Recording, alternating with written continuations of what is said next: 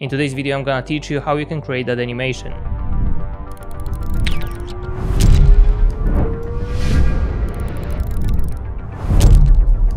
So basically we're gonna be creating a mini ad for Adobe After Effects. Even though nobody paid me for this, but I freaking love the software, so I can promote them all the time. With that being said, we're gonna get straight into Adobe After Effects. Alright, so let me just show you the comp settings, that's how it looks, I'm gonna hit OK. And then I prepared only one asset for today, which is AE logo. I'm gonna scale it down. And the next thing I'm gonna do is grab the rounded rectangle tool and I'm gonna create a shape that is in the similar size to our A logo. We can recenter, then we can adjust the roundness. Let's just make it so it looks exactly the same. Then what I'm gonna do is rename it to a logo background. I'm gonna drop it below and the next thing we want to do is go to picker and we're gonna grab this color. Alright, I'm gonna turn off the visibility for this and then in our A logo I'm gonna apply the effect called extract. Now we need to bump up the black point and that way only the letters will stay. Alright, now we can bring back our background. And now what I would like to do here is actually create a controller for both of those. So what I'm gonna do is right click, go to new, null object. I'm gonna rename it to controller. Now I'm gonna select both these layers and I'm gonna parent them to our newly created controller. So that way, whenever we change the position over here, everything will move. So for starters, we want to add some keyframes. So for this, I'm gonna hit P, then I'm gonna hold shift click S and also I'm gonna hold shift and click R. Now I'm gonna set a keyframe for all of those. I'm gonna move them to the right and then we're gonna grab X position beyond the screen. Also what I'm gonna do is change the rotation to minus one over here. And as for the scale, I'm actually gonna start the scale from 100 and then over here we're gonna change it to a smaller value. Okay, so that's how it's looking. Then what we're gonna do is definitely select all the keyframes. We're gonna apply easy ease and then I'm gonna head over to the graph editor. I'm gonna fit the graph and let's just create a peak on the left. Alright, way smoother, probably a bit too slow, so we're just gonna squeeze it in. So now our goal is to actually open up that A logo so the letters go to the left and then we're gonna extend the background. So for this we need some properties in these two layers. So in logo background, we actually need to keyframe size and also the roundness. Then I'm gonna head over to our A logo over here and we're gonna hit P. We're gonna create a keyframe for position. Let's move forward and what we're gonna do is drag X position in our logo to the left. Then we're gonna actually adjust the background. So for this, I'm gonna uncheck constrain proportions over here and we're gonna bump up the size. Just like so. Okay, that's what we have. So I'm gonna take that keyframe for the roundness and align it with the last ones. And then here in the beginning, we're actually gonna start off with kind of a circle. So for this, I'm gonna bump up the value over here. So that way it's gonna be rounded in the beginning and then it's gonna get sharper on the corners. All right, but we obviously need to do the same procedure. So we're gonna select them all. I'm gonna hit F9. Let's go to the graph editor. I'm gonna select them here. Let's squeeze it into the middle. Looks pretty good. I'll probably just speed it up a bit way better. Alright, so now we can open up all the keyframes. We're gonna select the newly created ones and we're just gonna get them backwards. Okay, that's really smooth. And then we're gonna grab the type tool and we're gonna type in the text where edits become art.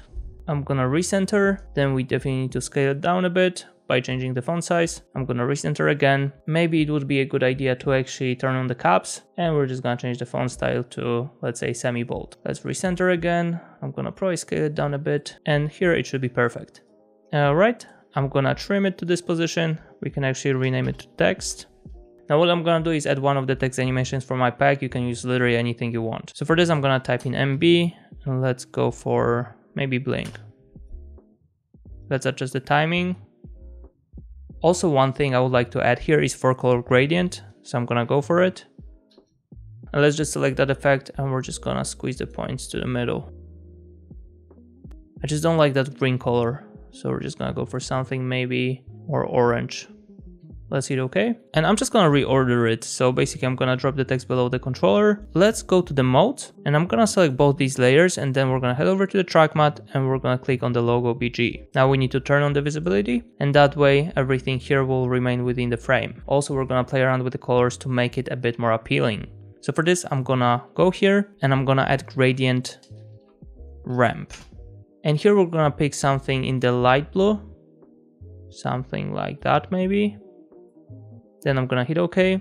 I'm gonna go to the end color and now we're also gonna go to the blue but this time it's gonna be darker. Alright, let's hit OK. Then you can always play around with these points to get your desired look, but let's say this should be fine. So now what I'm gonna do is right click, let's go to layer styles, and we're gonna pick inner glow. I'm gonna open up the property over here, and let's just bump up the size. Also, I'm gonna head over to the color, and let's just pick something bluish. Alright, light blue should be fine, let's hit OK. And then we need to head over to our logo background, I'm gonna hit U, and we need to get it back to the middle. So we're gonna squeeze it in, and to do so we need to actually create keyframes. I'm gonna move forward, and then we're just gonna squeeze it in like that. So just because we use the track matte, you can notice that everything that is beyond the frame is disappearing. Alright, then we're gonna bump up the roundness to achieve a circle, and that's what we have. So now we want to get that bouncy look. So whenever it's getting towards the middle, is gonna get that bounce. So for this, you need to use the expression from the comment below. So now let's go ahead and alt click the stopwatch over here, and then we're gonna paste the expression. So now it's quite important to actually remove the easy ease. So for this, I'm gonna select these two and I'm gonna hold control and I'm gonna click on one of them. All right, let's see now. Now, in my opinion, we should speed it up a bit to make it less stiff and this starts to look pretty cool. Also, as you can notice, we got this text over here. So for this, we need to head over to the text. I'm gonna hit T and we're gonna create a keyframe for opacity. I'm gonna move it backwards and somewhere at this position, we're gonna change it to zero. Okay, pretty cool. By the way, this is the first time I'm gonna be saying that, but pretty soon I'm gonna be releasing the update for Motion Essence. And the upgrade is gonna be pretty huge because we're gonna go from 25 assets to over 130. This took quite a bit of time and also I just wanted to let you know that I'm doubling the price for this. So if you want to have on the best price, get it now and await the update. So every single person that has Motion Essence at this moment is gonna get a free upgrade. Back to the show. And now what we want is create another shape. So for this, I'm gonna head over here and let me just grab the rounded rectangle tool and we're gonna create a wand. Okay, I'm gonna recenter and now we need to head over here again and we're gonna pick the star tool. I'm gonna create the shape on top over here. You can change the amount of corners with the scroll wheel, just like so. But something like that should do. Okay, let me just grab it and put it on top. I'm gonna probably adjust the rotation a bit and this seems to be perfect. All right, as for the rectangle, I'm gonna probably change the color to just see the separation here. Okay, maybe something like that. She looks pretty cool. I'm gonna recenter the whole thing. And we also need to add the expression to our wand. Let me just rename it. We can also parent this to our controller. So I'm gonna go ahead and do that. And just to focus on the wand so you don't get confused, I'm gonna solo it out and we're gonna create a keyframe for position. I'm gonna go back and let's just drag it a bit lower. Alright, so that's what we wanted. Now we want to add the exact same expression as we used before. So for this, I'm gonna head over here to our logo BG, content, rectangle, rectangle path, size, and here it is. I'm gonna copy, now let's close everything down. I'm gonna go to our position over here and I'm gonna alt click the stopwatch. Let's paste it and that way we're gonna get that bouncing effect. We could probably get a stronger look by changing the value over here. So I'm gonna bump it up to four. Let's see now. Okay, a bit stronger. We can also squeeze it in. That looks better. All right, so now what I'm gonna do is hit T and I'm gonna create a keyframe for opacity. Now I'll create another one, but this time we're gonna set it to zero. So that's how it's looking. And we're gonna unsolo out this layer. Okay, it's definitely a bit too big, so for this I'm gonna hit S and we're gonna decrease the scale. We also need to adjust the timing. I feel like it's a bit too early, so for this I'm gonna offset it a bit. Maybe also adding a little bit of rotation could be pretty cool here. Now what I would like to see is how it looks with the motion blur on. So I'm gonna turn it on over here and let's see now. Actually, also the wand. Just wait for the best part when we're gonna actually turn this animation into a real magical animation. But now what I'm gonna do is actually use one of my presets, which is from Motion Boost. So for this, I'm gonna create a new adjustment layer and I'm gonna rename it to Shake. Now I'm gonna pick HHD, which is gonna be Sallow Breeze, one of my favorite ones from the pack. Okay, so this is gonna give us that extra shake, but we need to also adjust the timing.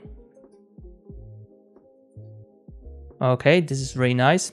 So now what I'm gonna do here is also at scale. So I'm gonna go to this transform and I'm gonna use scale, I'm gonna align it with this keyframe and we're just gonna get closer to our animation. Now I'm gonna select everything, I'm gonna easy ease and I'm gonna head over to graph editor. Now it would probably be best to go to the value graph, I'm gonna fit the graph and we kind of wanna create a sharp movement in the beginning. So let me just extend it so it's better visible and we're gonna do it like that.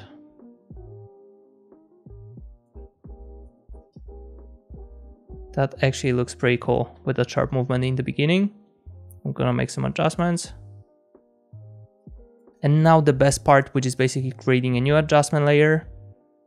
And then what we're gonna do is rename it to sauce. I'm gonna add posterize. Then let's change the value over here to 12. So this is gonna make it look horrible, but no worries, we're gonna fix it. So the way we fix it is basically use noise effect. We're gonna drop it on top and we're gonna change the value to, let's say 14. Alright, as you can notice it's gone and then also I'm gonna uncheck use color noise. Now if you want to sauce it up you need to use glow. But for this occasion I'm gonna actually use deep glow which is a plugin. And then we just need to adjust some settings, it's definitely too intense. Alright, okay let's see now. Okay, looks really nice. I just feel like the timing is a bit off. So for this, I'm gonna actually offset that shake either by one or two frames. Let's see. Yeah, actually one frame. That's literally perfect. Also something I'm gonna do is add deep glow to a logo. So I'm just gonna quickly do that. And this is gonna be way too intense. So we're just gonna change it to 0.5 and also we're gonna decrease radius. So before and after. I probably went overboard with the noise effect, so for this I'm gonna change it to 12 and this should be fine. Also we can bump up the posterize a bit, 14 maybe. Also, I'm a big fan of turning up the radius all the way to 2000. Also, we're working with 8 bits, so once we change it to 32, that color banding is gonna probably be gone. I'll probably go for one adjustment, which is basically going to our background over here. And then what I'm gonna do is just make it a bit sharper here. Yeah, way better. I really like that bounce over here. So once you combine a shake with the bounce expression on the size, and then also like if you have an object over here and you also add bounce to this, this is gonna look fire. And as for the last touch, we're gonna loop this animation. So I'm gonna go to the controller, I'm gonna hit P, I'm gonna create a keyframe, I'm gonna move forward and then we're gonna drag Y position downwards. Alright, now also I'm gonna head over to the graph editor and we're just gonna change it to the speed graph and make sure to create a peak in the middle. I made it extremely sharp so I'm just gonna extend it a bit and then we're gonna close the animation at that point. So this is gonna be pretty cool because it's gonna go down and then it's gonna loop from the left. Probably we could start the animation from this position. Let's make it faster a bit at the end. I just feel like that orange color is a bit too harsh on the eye. So for this I'm gonna head over here. Let's just figure out something else. So we probably have to go to the color 1 and here something blue should be fine.